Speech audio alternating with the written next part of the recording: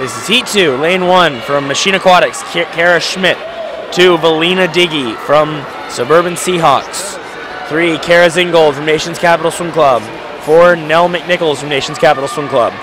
5, Caroline Suko from Central Bucks. 6 is Lauren Connolly from Nation's Capital. 7, Zoe Selly from Nation's Capital. And an 8 is Caitlin Doherty from the Central Bucks.